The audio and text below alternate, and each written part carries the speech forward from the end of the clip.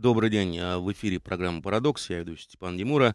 Вот прослушали мы новости. У нас можно теперь даже не включать телевизор, э, какую-нибудь юмористическую программу. У нас всегда переводят стрелки. Новости, как юмористическая программа. Но у нас сегодня тема чуть посерьезней. Это краудсорсинг, реальный способ повысить эффективность госзакупок или нет. Такая политически корректная формулировка. Ну, сейчас мы разберемся, что здесь к чему. У нас в гостях э, Георгий Суходольский, исполнительный директор Национальной ассоциации институтов закупок. Добрый день, Георгий. Добрый день, Степан. И Василий Буров, председатель совета директоров компании Викивоут, соучредитель некоммерческого партнерства «Инфокультура». Добрый день, Василий. Спасибо, Добрый что день. пришли. Ну, во-первых, хотелось бы, чтобы вы объяснили первое иностранное здесь слово краудсорсинг. Что это такое? Ну, это, наверное, ко мне вопрос. Значит, мы э, долгое время э, бились за то, чтобы это слово в русском языке начало употребляться, но начало употребляться. Не, не уверен, что мы сами до конца рады тому, как оно употребляется. А, вообще, изначально это э, очень простая идея. Если у нас есть какая-то задача, мы можем ее решать сами, мы можем реш... ее передать решать тому, кто мы знаем, что умеет ее решать, а можем э, призвать к э, ее решению э, ну, всех людей доброй воли. Среди них, наверное, найдутся неравнодушные, активные, конструктивные, и если мы им предоставим а, удобный и а, работающий инструмент для совместной деятельности, чтобы они могли вместе достигнуть какого-то результата, а не просто поболтать, то они это дело сделают. Ну и обеспечим им какую-то мотивацию, зачем им в этом участвовать. Вот это и называется краудсорсингом. А мы вот в данном конкретном случае, как вы обеспечиваете мотивацию?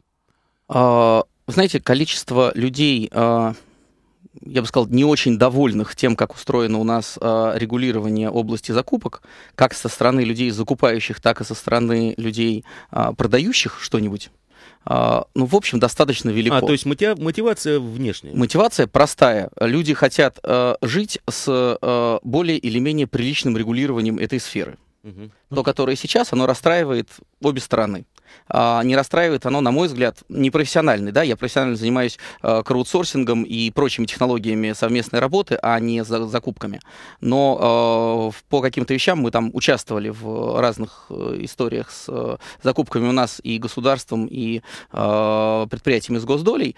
Ну, это очень такой противный процесс. Главное, от кого все зависит, это, в общем, от человека, который проверяет соблюдение всех формальностей. Да? Э, хорошее решение ты предлагаешь, плохое, по хорошей цене, по плохое относительно того, что ты предлагаешь. От этого, в общем, мало чего зависит. Э, поэтому вот мы сами понимаем, что это такая вещь важная, и э, есть ощущение, что люди, которые в большей степени, чем мы, завязаны на э, эти истории, они э, и мотивированы на то, чтобы это исправлять. Хорошо. Я бы, если можно, да. немножко добавил. Когда мы говорим о внешней или внутренней мотивации, наверное, внешняя это та, которая подталкивает или понуждает к чему-то. Ну, есть проблемы, люди пытаются ее решить. Да, ну, да. скорее, может быть, даже здесь больше внутренняя э, мотивация в том плане, что это внешняя проблема, но людям внутренне дискомфортно работать именно в таком режиме, и, соответственно, они решают свою проблему, чтобы себе самому создать более комфортные условия для работы в области mm-hmm. госзаказа. Понятно. Вторая mm. здесь политкорректная такая формулировка. Эффективность госзакупок. А что под этим э, подразумевается, Георгий? Поскольку это, вы да, из это института... уже а, больше это вопрос к нам, точнее не из института, а национальная ассоциация. ассоциация. Институтов. И простите. институты мы подразумеваем, сразу оговорюсь, институциональное образование. То есть не институты учебные, а, то есть э, членами ассоциации могут быть и заказчики, и поставщики, и консультанты и так далее. Значит, когда мы говорим про эффективность, это самый больной вопрос и самый стандартный, наверное, вопрос, э, который задается всеми, кто за, задумывается о закупочной деятельности. Все говорят, что за, закупки должны быть эффективными. Кто под этим что понимает, э, совсем по-разному. Кто-то считает, что должна быть минимизирована просто закупочная цена. Кто-то говорит уже о цене закупочного цикла. Кто-то говорит, что эффективная... А что значит закуп... цена закупочного цикла? Э, жизненного цикла. А. Э, извините. А, ну, понятно, что. Угу. А, кто-то говорит, что эффективность это когда у нас больше привлекается отечественных производителей или больше привлекается малого и среднего бизнеса. Конечное определение эффективности, оно а, нигде не формализовано. В какой-то момент, год, ну, лет пять, наверное, уже назад, э, разрабатывался один НИР по заказу Минэкономразвития, как раз по определению эффективности в закупках. А, там было выработано в рамках этого НИРа, э, может быть, ошибаюсь. Это научно-исследовательская работа. НИР. Да. Угу. а, около 76 показателей, которые в совокупности как раз и дают э, оценку эффективности закупочной деятельности. Там учитывались и ценовые показатели, и неценовые, вплоть до просто профессиональной удовлетворенности конечных потребителей того, что будет закупаться. Вот если так обобщенно. Поэтому что такое эффективность? Это нечто, э, то, что посчитать напрямую, просто так единой формулой, или как, например, в рамках госзаказа считается разница между начальной и конечной ценой, это не есть эффективность в целом, та, которая должна достигаться. А вот то, чем занимается, скажем, счетная палата, вот э, в 2012 году они, по-моему, насчитали 800 миллиардов рублей, потраченных неэффективно, а в 2011 триллион, эксперты оценивают эту сумму больше двух триллионов. Это тоже относится к эффективности? Или вот. это просто, понимаете, ну это банальное воровство, скажем так, будем называть вещи прямыми, э, своими именами. Вот счетная палата этим занимается. Вот она посчитала, что такие-то такие-то суммы были потрачены неэффективно. Что это означает для людей, чтобы просто понять?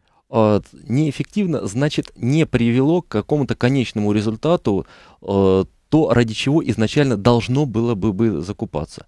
Ну, в этом плане не обязательно говорить именно есть, о воровстве. Ага, да-да-да, вот то есть важный. А, например, Пескунов, тот, который занимается госзаказом уже не первый год, э, аудитор счетной палаты, он э, уже давно говорит, что э, чаще у нас даже возникает, не, ну, грубо говоря, нехорошести не из-за воровства, а просто из-за дурости или из-за незнания.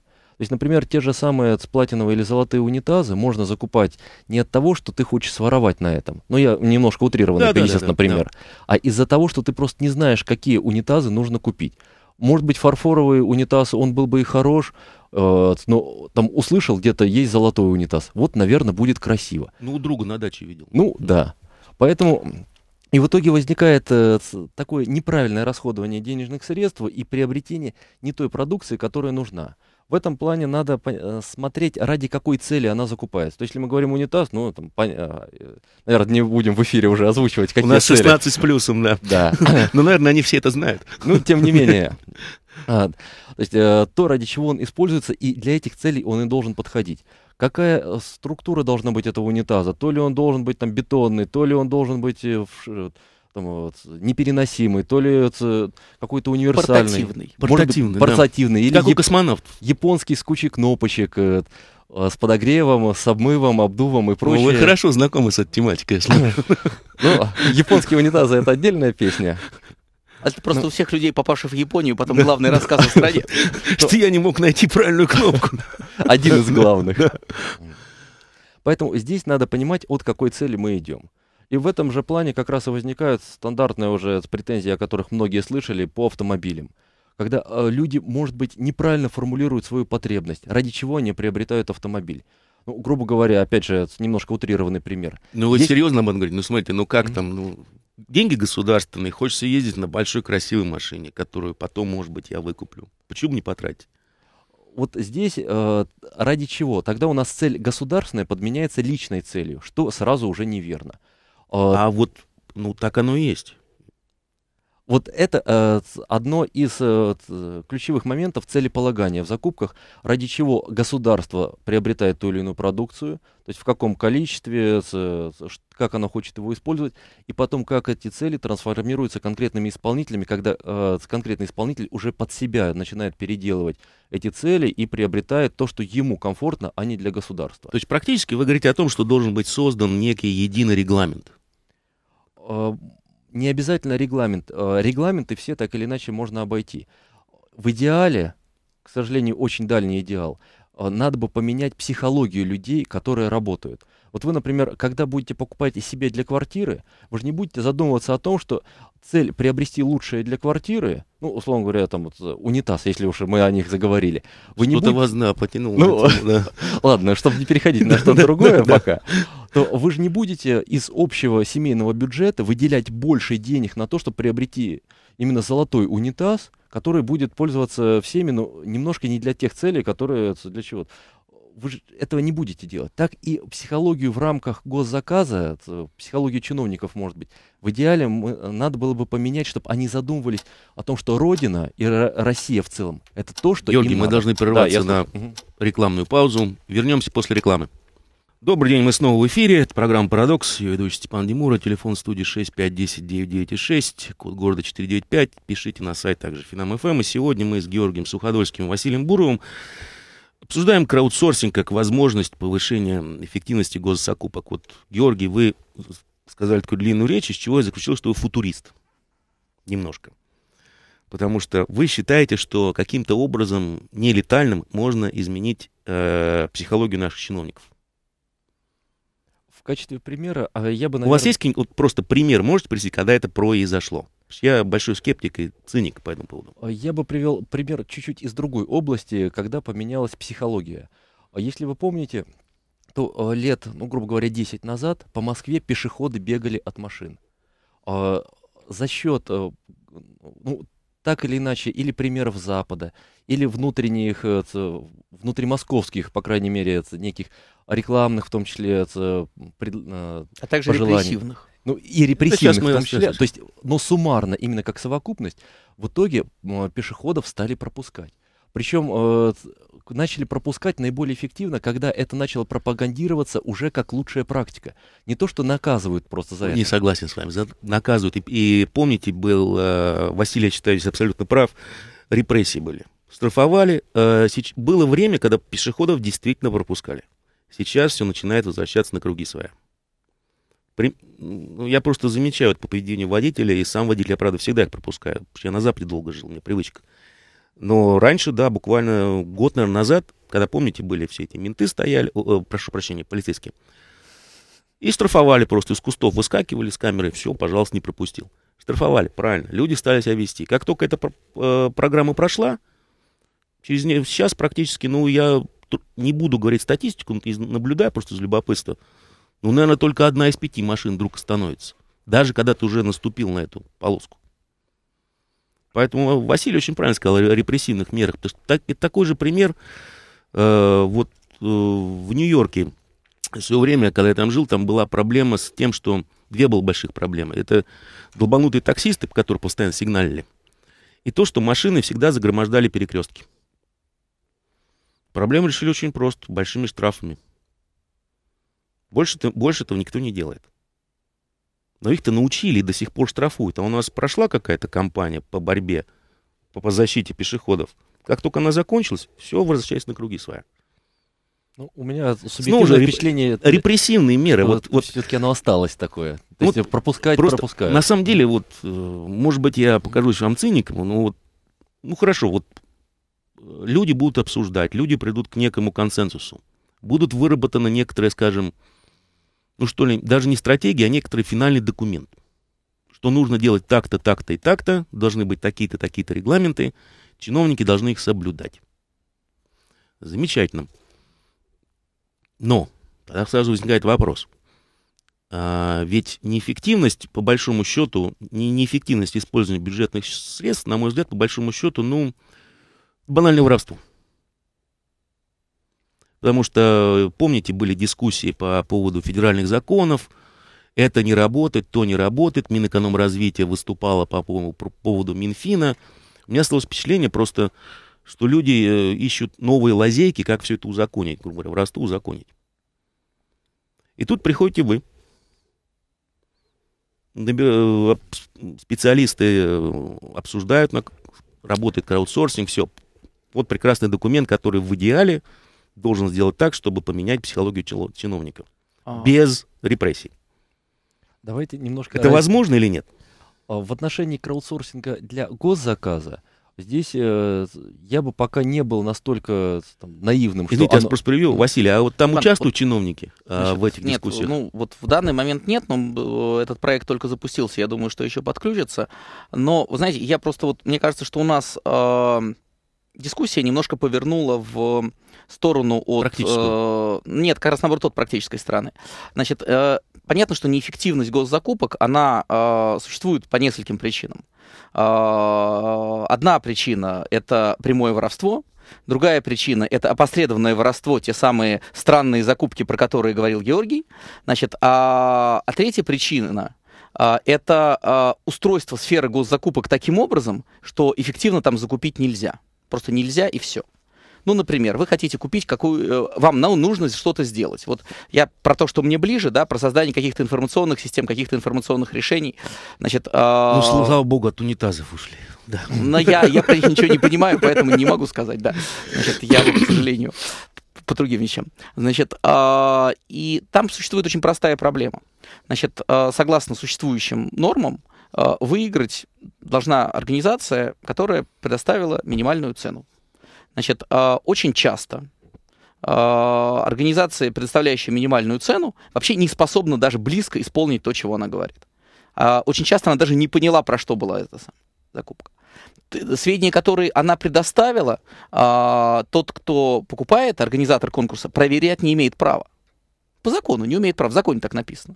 Все, Там же, те- по-моему, были какие-то поползновения, чтобы компания существовала на рынке, что-то такое, чтобы она... Или это все? это, е- она может вам, вам написать, что я существую на рынке давно. Вы проверить это не имеете права. По закону. По закону, да. По закону. Вы не имеете права это проверить. А, это была борьба с коррупционной составляющей, да, по-моему, часть? Да, да, да, да, Ага. да. С ней просто Если поборолись, с ней, с ней просто поборолись настолько, что, вы, э, что единственное, для чего подходит нынешнее законодательство по закупкам, это для коррупции. Но а, существует много людей и в государстве, и не в государстве, которые, может быть, бы и хотят, чтобы у них была коррупционная составляющая, но они иногда еще хотят дело сделать, такие тоже встречаются. Так, наиболее успешные, да, те, кто, значит, там поднимается до Мгм. особых высот, они обычно сочетают Да, эти как-то успешно. Значит, Есть такое правило, а, да. И вот той их составляющей, которая пытается сделать дело, нынешнее законодательство очень сильно мешает.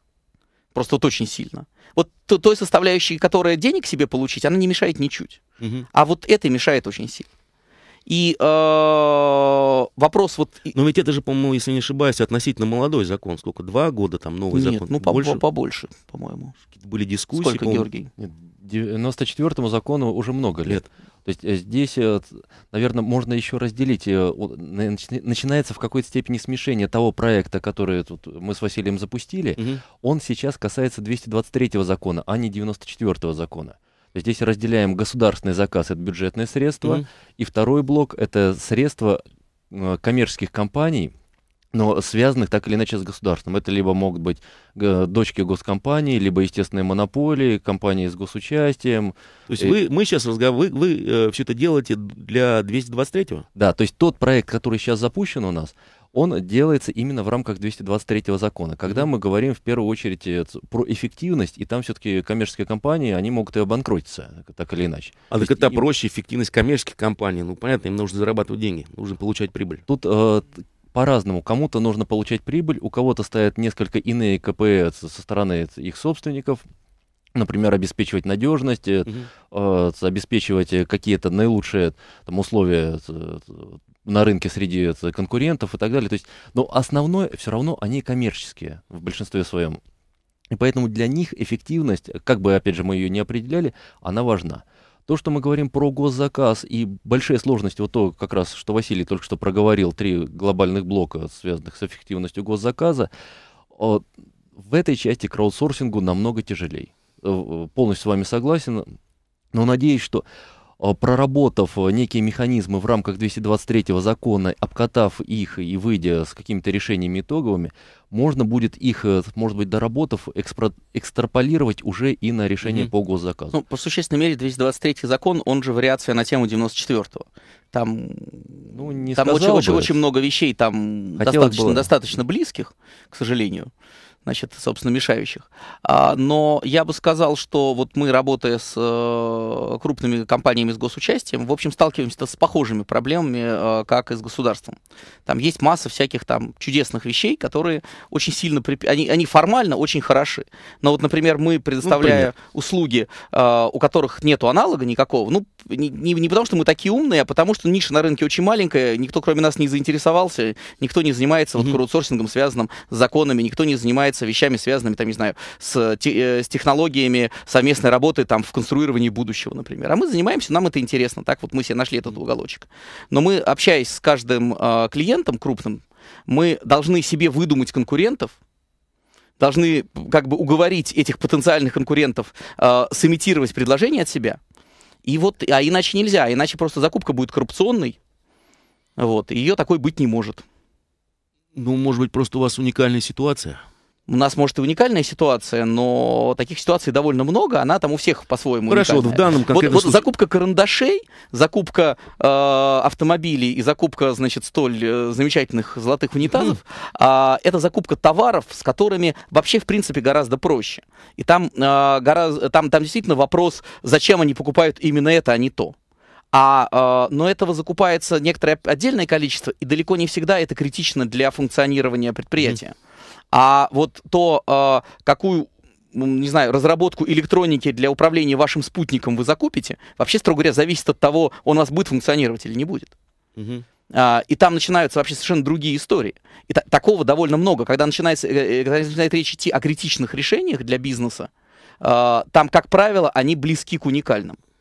Ну, тогда получается следующая ситуация, что если вы пытаетесь разработать общий закон, да, он будет плохо и там, и там. Нет? А, закон должен Вернее, работать с категориями. Правила.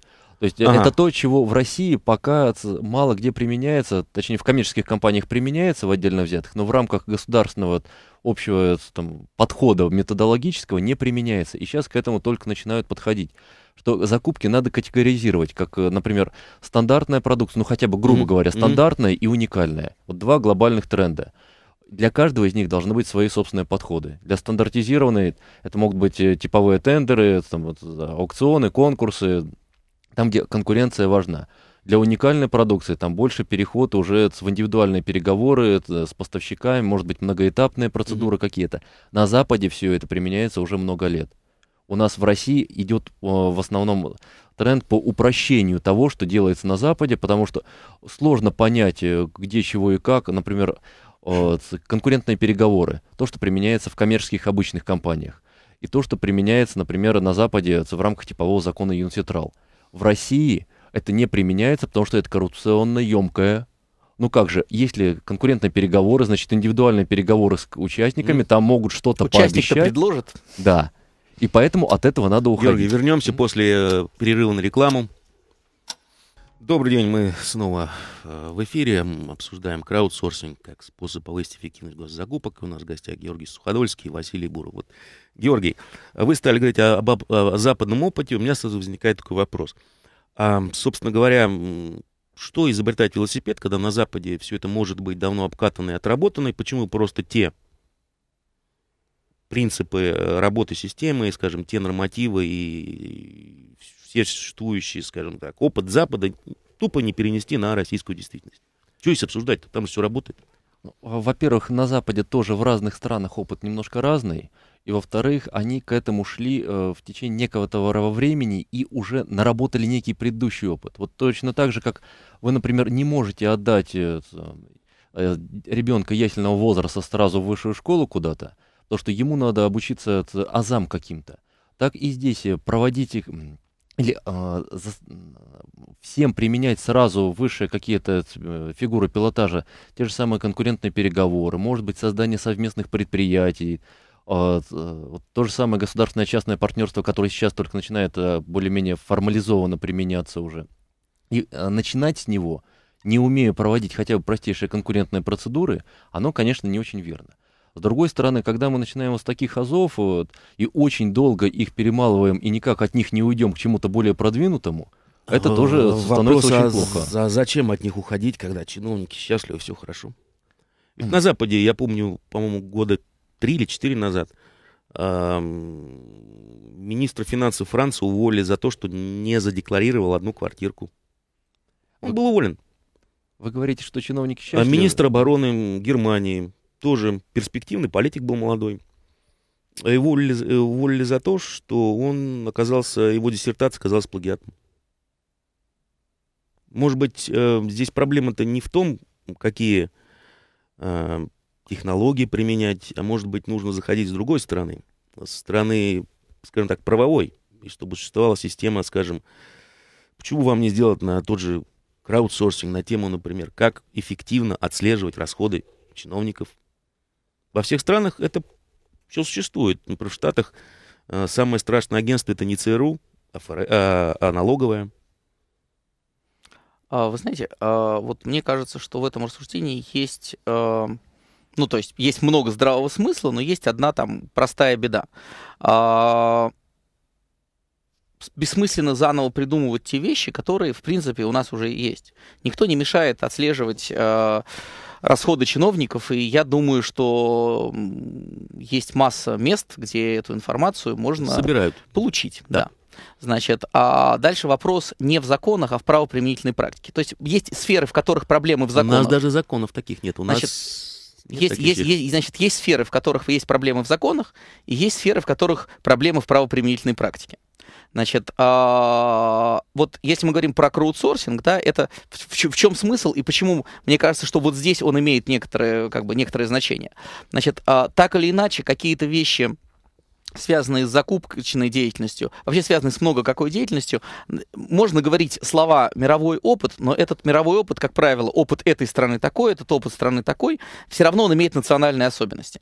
Как положить на эти национальные особенности, как положить уже на свой опыт, имеющийся со стороны и, и продавца, и покупателя, э, вот этот опыт надо собрать и агрегировать. Одна из проблем наших законов э, вот такого рода, написанных в таких областях, заключается в том, что их писали люди, которые пишут законы, а исполнять их приходится людям, которые, значит, вообще другим занимаются, которые какую-то деятельность выполняют.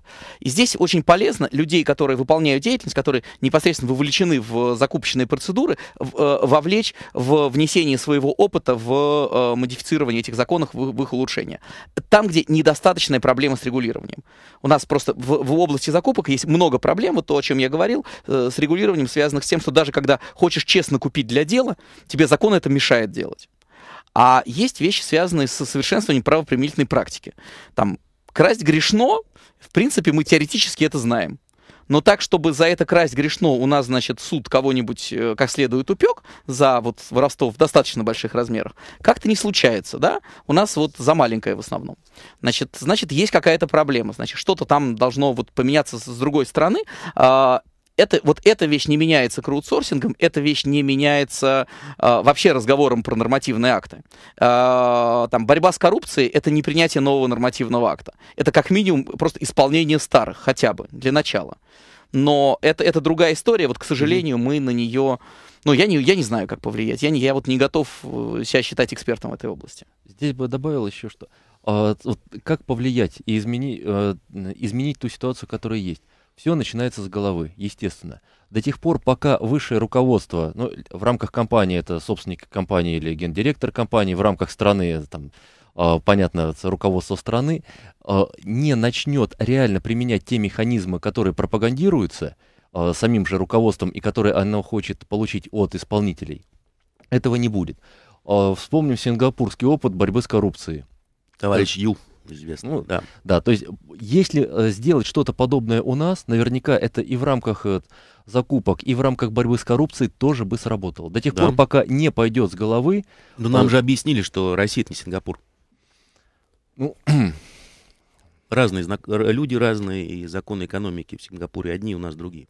Но, тем не менее, любое решение управленческое, оно начинается сверху и его нельзя э, исполнить только частично, при том, что его будут соблю... одни соблюдать, другие не будут соблюдать. У нас есть телефонный звонок. Э, да, Дмитрий. Здравствуйте. Здравствуйте. Это звонит ваш слушатель, как, э, судьба которого, в общем-то, э, завела... Он был и заказчиком, и исполнителем. То есть, ну, грубо говоря, было время, когда я э, писал техническую э, документацию для госзаказа, ну и э, фактически выполнял, был победителем. Правда, было это давно, в середине, это было где-то в районе 2005-2007 годов. А, помню прекрасно 97-й федеральный закон, 94-й преемник его, сейчас вот новый вышел. Подскажите, пожалуйста, все вы прекрасно а, рассказываете по поводу краудсортинга, но вот а, что, какая динамика изменения ситуации с госзакупками? Что сейчас с заточенными торгами под конкретного заказчика происходит. Э, какое число единственных э, исполнителей по итогам конкурса или фактически единственных исполнителей, когда, ну, две-три конторы, грубо говоря, участвуют для, так, для виду. Что изменилось с тех времен? Спасибо. Здесь я бы э, немножко о другом аспекте краудсорсинга поговорил. То, о чем мы разговаривали до этого, это законотворческий, скорее, краудсорсинг, когда мы пишем документы. А второй краудсорсинг... Знаете, их так много и так часто писали и переписывали. Вы, наверное, прекрасно знаете. Даже принимали участие в, в написании 97-го закона. Помните, сколько он сначала был страниц? 6 или 8, да? И закончилось тем, что он превратился в такой томик 50-страничный. Ну и что изменилось? Вот как раз я и хотел от этой темы именно написания законов краудсорсингом отойти.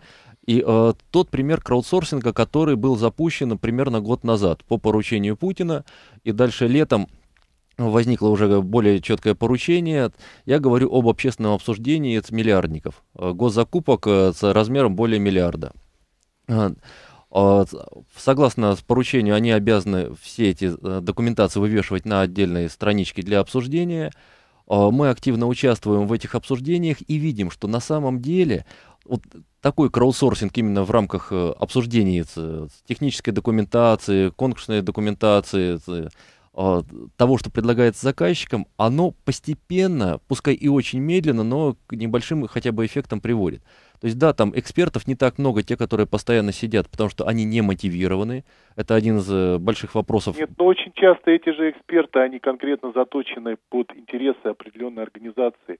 Вот и все. У нас же нет фактически рынка услуг для очень многих э, государственных закупок. Каким образом это делать? Значит, э, вот, э, давайте здесь э, еще раз раздель... отвечу сначала на первый вопрос, тот, который был задан. Как меняется ситуация в этой области?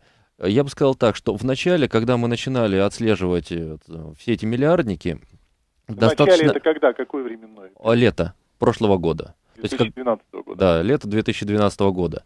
Когда формально эту процедуру запустили.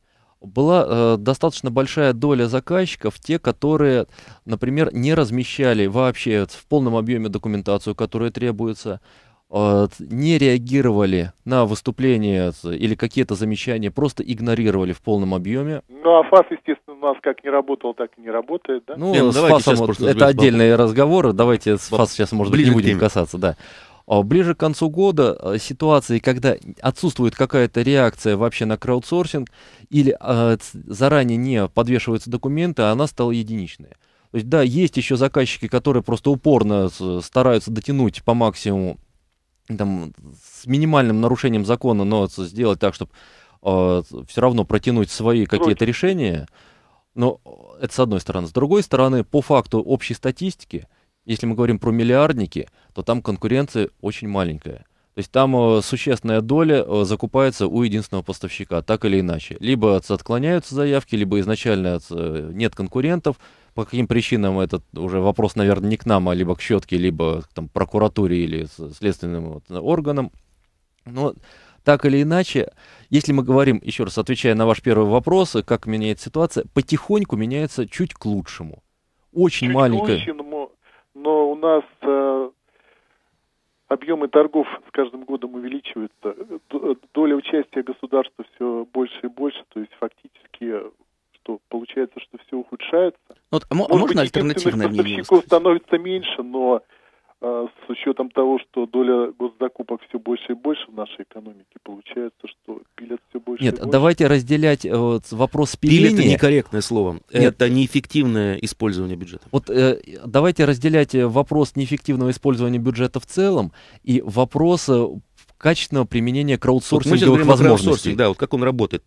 Я просто вас э, перебью, да. Георгий, я хочу Василия спросить. Василий, а примеры есть работы краудсорсинга там в мире, не у нас в мире, вот просто значит, значит, два, смотрите, несколько ну, примеров как бы краудсорсинг это вообще некоторая очень большая история, да, значит, начиная от э, вещей, которыми все благополучно пользуются, но никто не знал, что это слово к ним применимо, типа Википедии, значит, она ага. написана при помощи краудсорсинга и, и больше ничего.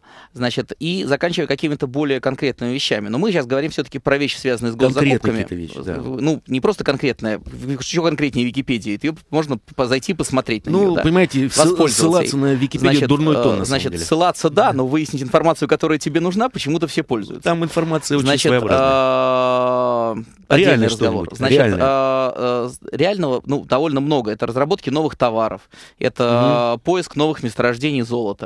Это... Так, реш- так, так, при- а, пример приведите, пожалуйста, поиск. Как, как- как- как компания Gold Corporation, это такой хрестоматийный при- пример из области краудсорсинга. Мгм. У нее были лицензии на большие э, там, поля, да, значит, но где именно искать непонятно. У нее была очень тяжелая финансовая э, ситуация, она не могла запустить вот повсеместную геологоразведку, да. Мгм. И она создала э, некий краудсорсинговый проект э, э, по эм, поиску этих месторождений. Ну и там люди неким образом ей придумали, где именно искать. Они действительно начали именно там разработку, и все хорошо. Компания Gold Corporation на плаву, А одна из людей, лидеров. а, а чем они мотивировали вот этих спецов, А, которые... им, предла- им, им предложили там долю от прибыли с найденных Ага. месторождений. Значит, э, вот, но мы сейчас все-таки говорим про э, краудсорсинговые вещи применительно к оптимизации э, закупок. Мгм. Я думаю, что и государственных, и негосударственных. Мгм. Значит, здесь краудсорсинг может э, использоваться в, ну, первое, значит, это, собственно, совершенствование э, регулирования, да, это вот то, как мы его сейчас Примеры, используем. примеры. Или мы только начали, вы только начинаете эту тему. А в мире вот были какие-то такие попытки? В мире примеров э, краудсорсинга в регулировании Василий, мы должны мало. прерваться на рекламу, ну, ну есть. Мы снова в прямом эфире, это программа «Парадокс», я Степан Демура. Подключайтесь к разговору по телефону 6510-996, пишите на сайт Финам.фм. Сегодня мы обсуждаем краудсорсинг э, как средство повышения эффективности госзакупок с Георгием Суходольским и Василием Буровым. Да, Василий, вот продолжим А, тему. да, я э, продолжу мысль уже не про э, краудсорсинг в области такой высокоинтеллектуальной деятельности, как создание каких-то нормативных актов, а краудсорсинг гораздо, гораздо более простой и близкий ко всем. Есть довольно известный, и про него, значит, одно время там много говорили, ресурс, созданный Алексеем Навальным под названием «Роспил». Мгм. Это на самом деле краудсорсинг в области оптимизации закупок. Я не совсем согласен, да и, как правило, не согласен с тем, что делает Навальный. Существенная часть его деятельности связана все-таки не с тем, чтобы реальное что-то произошло. Что последний раз доказали а, вот эти истории с якобы найденными ими там латиницей в э, объявлениях о госзакупках и пробелах, о чем просто всем, в том числе, значит, контролирующим органам, значит, и государству известно много лет, и, значит, с этим там были разные способы борьбы и так далее. Но зато он совершил открытие недавно, и, значит, все его сторонники бегают и кричат, какой он молодец и как он, значит, это сделал, да, забывая, что там Иван Бектин это много лет назад уже, значит, как-то прошел эту историю. Ну, важно просто подождать, пока история затихнет Забудется. и забудется, да, и, и дальше ее все присваивать очень выгодно. Но среди э, проектов Навального есть на самом деле проекты очень и очень разумные. Вот э, я там с многим, что сделано технологически по в распиле, не совсем согласен и методически, но сама по себе идея проекта, ребята, вокруг происходит много всего.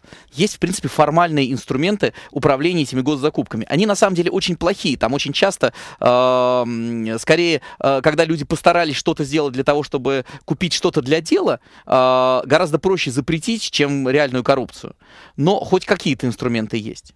Да, и давайте дадим вот людям, которым не безразлично, которым, у которых, кстати, есть мотивация жить в стране, в которой меньше воруют. Такая вполне себе внутренняя мотивация. Приятно было. Хорошая да? мотивация. Хорошая мотивация. И, в принципе, людей с ней не нулевое количество. Значит, а, давайте им дадим инструмент для того, чтобы они могли пытаться заставлять тех, кто занимается закупками, делать их качественнее, делать их честнее. Вот распил это там такой инструмент, может быть, не самый лучший в мире, но инструмент. Он Мгм. присутствует, он существует. Он, это краудсорсинговый инструмент, да, люди собираются Мгм, и мгм. всем обществом это делают. Мгм. Вот такой вполне конкретный пример, как еще можно на это повлиять. Но мне кажется, что э, проблема вообще неэффективности закупок, она одновременно должна с разных сторон регулироваться. Она должна э, а, виноват, меняться. Она должна меняться со стороны ее регулирования, со стороны совершенствования законов, которые э, в этой области у нас очень плохие, что касаемо э, государства, что касаемо корпораций.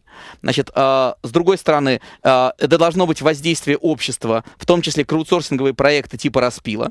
На самом деле, Распил не единственный проект в этой области, он просто самый известный, просто Алексей его лучше всего Сам Распил. распиарил, он даже Да. не первый. Мгм. Значит, таких проектов довольно много, значит, они есть. Значит, и э, так, третья сторона, да, это э, изменение культурного состояния э, участников закупок, в том числе и путем применения к ним репрессивных мер.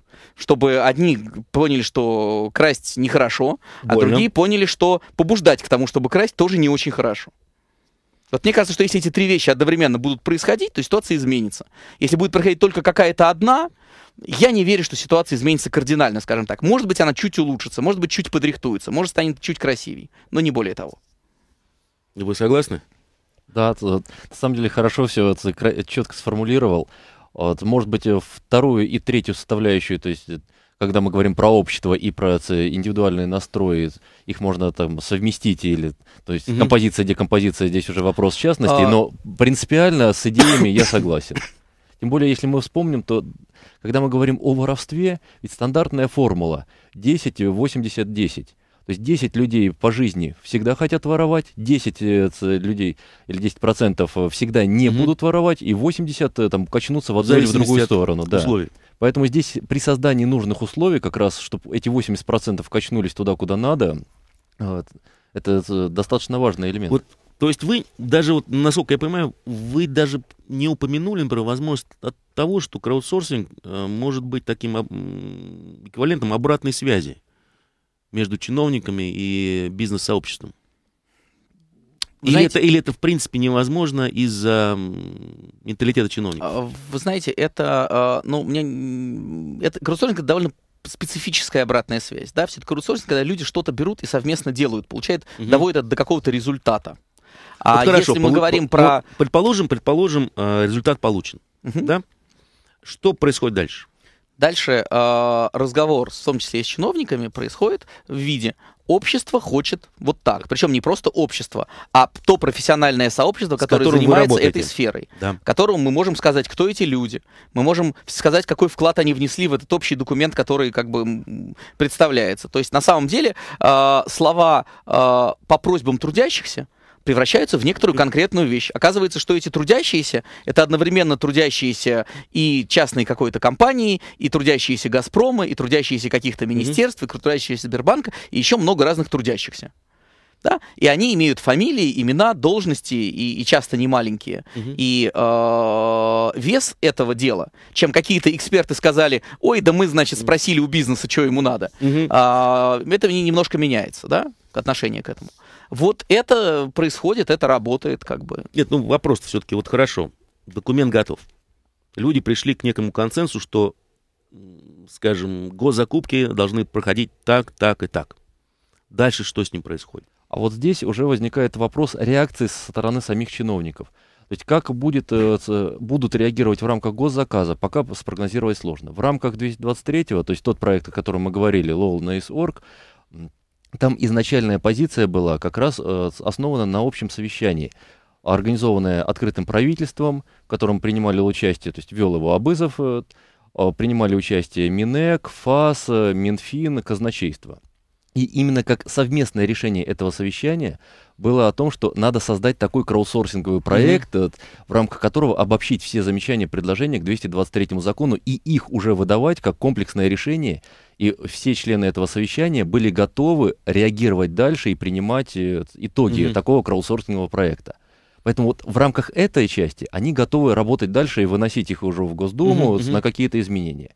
Если мы говорим не о 223, а о 94 законе, Здесь я бы пока поостерегся давать какие-то прогнозы, насколько краудсорсинг готов повлиять и будет ли результативность от него в рамках госзаказа. У нас я... телефон звонок mm-hmm. есть. Да, Олег. Алло. Олег, Алло. добрый день. Да, Степан Геннадьевич, вот у меня вопрос к вашим гостям, да? А не, э, не проще ли просто построить данную деятельность в виде, ну, скажем так, биржи, да? На которой будут присутствовать покупатели и продавцы. Продавцы, соответственно, это производители, вот, ну, а покупатели, понятно, там, покупатели, да, тот же, те же бюджетные организации. Все прозрачно, все здорово, на мой взгляд, было бы. Не надо ничего изобретать. Может быть, я ошибаюсь. Ну, интересный вопрос, действительно. Если мы говорим о закупках вообще, то биржа, она предназначена все-таки для закупки стандартного товара Стандарт. и при этом достаточно массового количества. Когда как... производитель один? Да, предположим, что вы сами лично, ну или вот слушатель, который сейчас позвонил, хочет для себя, для квартиры что-то купить. Там одежду, обувь, хлеб. Давайте туалет. Толчок. Давайте все, давайте уже от него уйдем. То есть э, ту же еду. Он не будет каждый день ходить на биржу и закупать на бирже. Он пойдет в соседний магазинчик, который может быть даже в соседнем подъезде. Дешевый. Может быть, самый дешевый, может быть, не, Не самый, самый, дешевый, да. но тот, который удобен для него, Мгм. для потребления. Но на биржу он не пойдет. Поэтому биржа это тоже как один Нет, из возможных инструментов, Имелось, но не наверное, всегда. наверное, имелось в виду, что есть некоторые категории услуг, да, и продуктов, которые можно торговать ими как на бирже.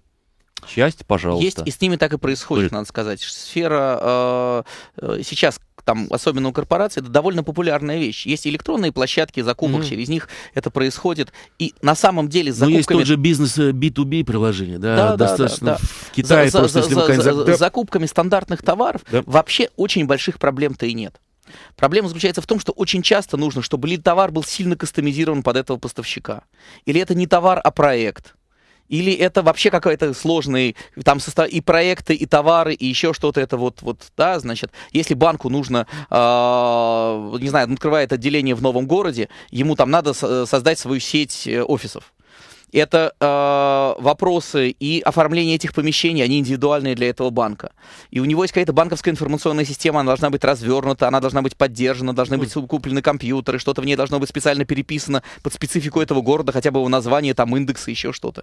То есть масса всяких вещей, которые непонятно, Но как их продавать есть, на э, бирже. Ну как, э, пр- продаются услуги э, компаний, которые этим занимаются. Услугу надо описать, да, чтобы у Ну, биржи, описывай у биржи услугу, есть какая, какой-то параметр, по которому ты выбираешь. По цене, например. Ты выбираешь там лучшую услугу по цене. Как только ты это убираешь, цену, цену, тебе сразу говорят, о, это у вас коррупция. Коррупция это однозначно. Согласна. Вы выбрали же того, кого вы любите. А как же это? Вот у меня ощущение, на самом деле, оно э, такое мое личное мнение. Вот мне кажется, что существенная часть коррупции в закупках возникает как раз благодаря тому, как мы ее хотим зарегулировать и как мы всех хотим проверить на коррупцию. А, как только мы собираем некоторый свод правил, у человека появляется, кроме метрики а, «я это сделал и дело получилось в итоге», неважно, сколько я украл, да, дело сделано, у него, ему дело вообще делать не надо. Ему надо соблюсти процедуру. Дуру. Он радостно соблюдает процедуру. И, э, а так как процедура еще мешает, чтобы дело сделалось, он сразу говорит, ну дело все равно не делаю, но хоть себе-то получу. И он себе это получает. Это вот те 80%, про которые Георгий говорит. Они поставлены в такие условия. Они поставлены в условия, когда им проще получить себе, да, с существующим законодательством. А вопрос, а кто это законодательство разрабатывал? И, и когда? Значит, Ладно, не будем перейти на личность. Значит, нет, это во- вопрос не личности, это вопрос вообще разработки нашего законодательства. А, И, и вопрос того, почему я там так ратую за использование краудсорсинга в законодательстве. Очень часто законы получаются плохими не потому, что их кто-то хочет писать плохими, а потому что они так получаются, потому что их э, пишут люди неграмотные ни в написании законов, ни, э, что еще страшнее, в той области регулирования, которую они собираются регулировать. Или они пишут, исходя... То ведь п- 90 простота хуже воровства Конечно, получается. 94-й закон написан же из очень простого, хорошего соображения. Ребята, давайте не разрешим закупать дорогое, если есть дешевое. Это же хорошее. Да. Подавляющему большинству населения страны оно абсолютно понятно. Проблема заключается в том дальше, как это написано. Какие, как учтены какие-то моменты, какие-то аспекты. А моменты того, что не всегда как бы Просто не было дешевое. экспертов, а краудсорсинг позволит экспертов привлечь позволит, по- позволит, скажем так, повысить интеллектуальный уровень получающегося документа. Вот это Понятно. вот как бы, что он даст. А как Понятно. он примется потом, этот документ, что с ним будет? Георгий, как, вы хотели... как Да. итоговый выход, э, вот когда мы презентовали этот полученный проект э, уже в рамках людей, которые имеют отношение к законотворческой деятельности, у них возникла мысль, что вообще его надо применять не только в рамках закупок, но и вообще показать в- Госдуме, может быть даже Совету Госдумы, для расширения спектра применения этого инструмента. Спаси- Спасибо, Георгий. Ну, я думаю, что все поняли, о чем мы сегодня говорили, и на самом деле очень интересный проект. Хочется только пожелать его разработчикам удачи. В гостях у нас сегодня были Георгий Суходольский, исполнительный директор Национальной ассоциации институтов закупок, и Василий Буров, председатель совета директоров компании Вики Воут, соучредитель некоммерческого партнерства «Инфокультура». Удачи!